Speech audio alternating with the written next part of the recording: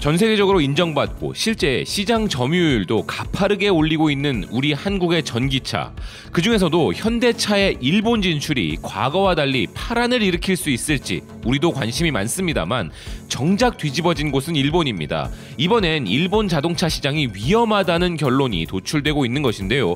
게다가 현대의 일본 재상륙에는 새로운 무기가 장착되어 있다며 긴장하고 있는 것입니다.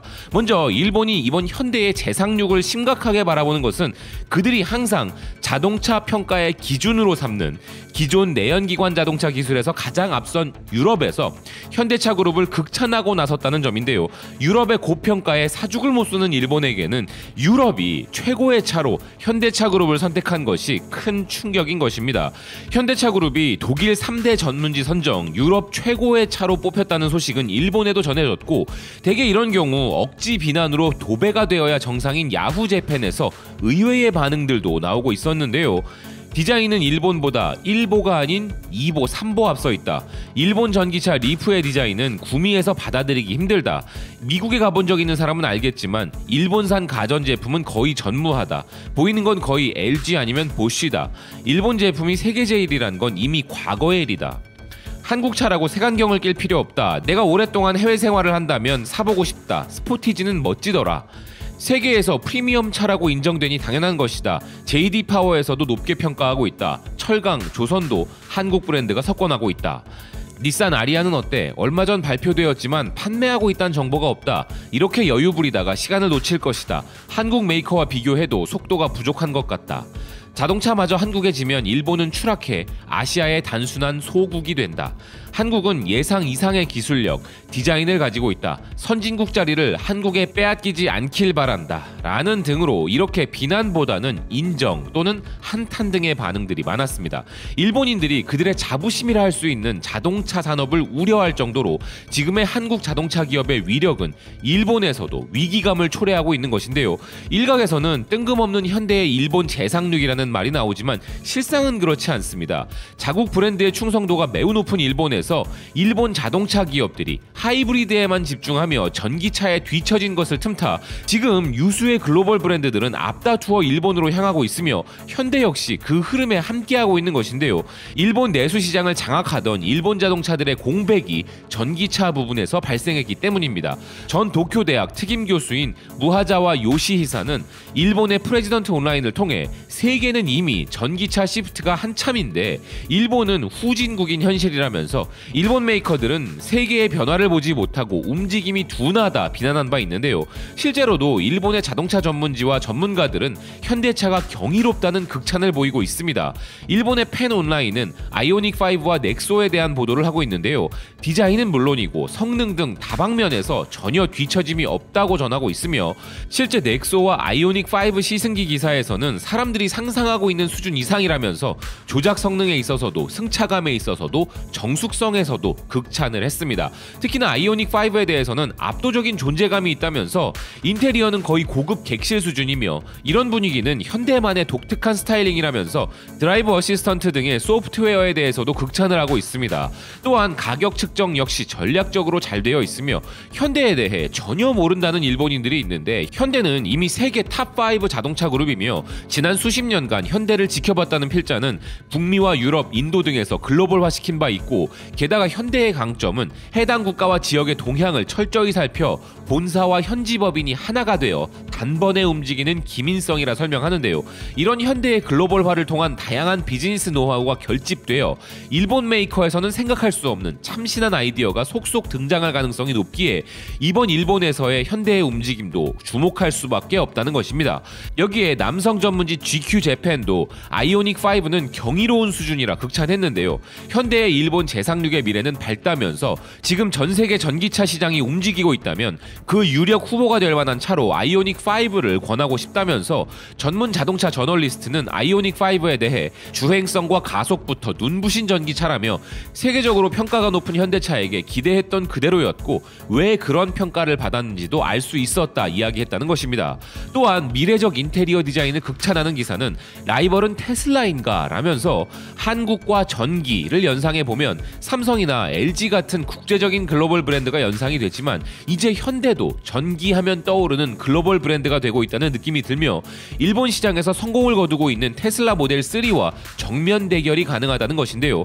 반면 현대의 일본 재상륙에 대해 쉽지는 않을 것이라는 의견도 당연히 있었습니다. 일본의 치쿠다 모빌리티 종합연구소 대표 치쿠다 요시오는 다이아몬드 온라인의 칼럼에서 현대가 13년 만에 일본 재상륙을 시도할 것이라면서 현대는 미국 GM을 제 치고 세계 4위에 등극한 기업인데 이런 현대차가 세계 주요 시장 중 유일하게 먹지 못한 시장이 일본이었고 이는 자동차 업계에서도 7대 불가 사이로 꼽히는 현상 중 하나였다는 것인데요.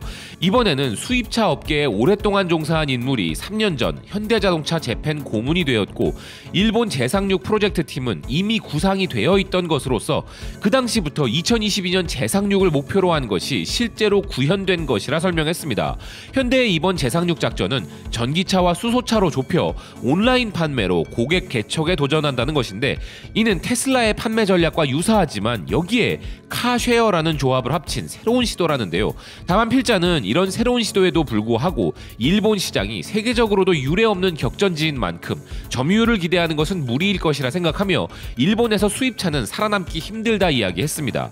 실제로 일본의 수입차들의 점유율은 10%에도 못 미칠 정도로 일본 브랜드가 강세인 점을 들며 그나마 독일 3사 정도만이 압도적인 강세라는 필자는 테슬라 역시 일본 시장에서는 판매 실적을 늘려가지 못하고 있는 현실이며 이미 10년 전에 진출했음에도 그렇다는 것인데요.